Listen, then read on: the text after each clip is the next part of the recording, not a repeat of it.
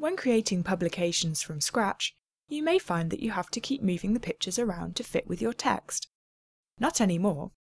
In this tutorial, we're going to look at controlling picture position relative to frame text by using anchors. To demonstrate this, I'm using this publication, which was created in another tutorial, Text 1 Frame Text Basics. Feel free to follow that tutorial and create this layout for yourself if you want to. We're going to look at different ways of adding pictures inline to text. The first method is to position the picture inline as a character.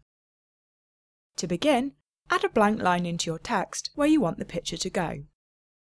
Do this by pressing return and ensure that your cursor is flashing at this point.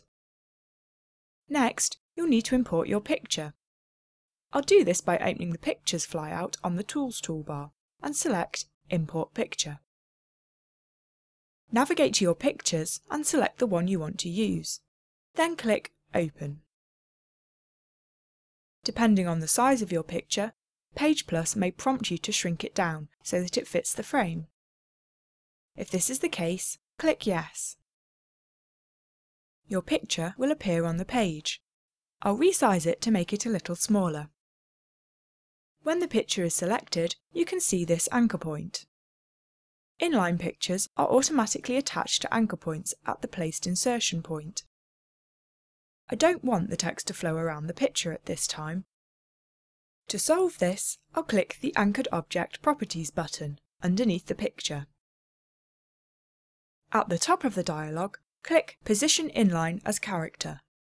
Then click OK. I'll now resize my picture so it can be seen more clearly.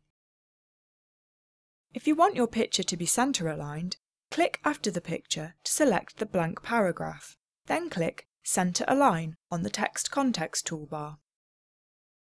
Now, we'll look at floating your picture in relation to a placed anchor point.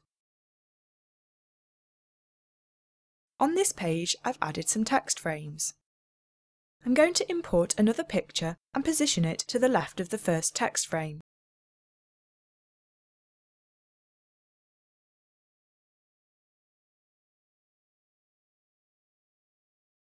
This picture doesn't yet have an anchor point because it's not positioned in line. We can add one now. With the picture selected, open the Arrange menu and click Anchor Object. In the dialog, the horizontal position is currently set as outside on the left of the frame. This is correct for the picture I just imported. I'm going to change the offset x value to minus 1 and then click OK you can see that the picture has been anchored to the nearest text frame. If you move the text frame or add more text before the anchor point, the picture will move. The picture will always move in relation to its anchor point. You can experiment with the vertical positioning of objects using the same principles. Finally, we'll look at centering pictures inside text frames. In this final text frame, I'll click where I want the picture to go and then import a final picture.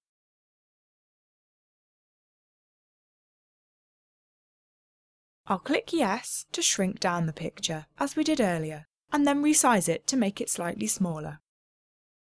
Once again, click the Anchored Object Properties button underneath the picture. This time, in the dialog, change both the horizontal and vertical position to inside centred of the frame and then click OK. The picture has appeared in the centre of the text frame. Before we finish, we'll have a quick look at wrap settings. Wrap settings can be used to provide some blank space between the picture and surrounding text. Access the Anchored Object Properties dialog again, and then, in the bottom left corner, click Wrap Settings.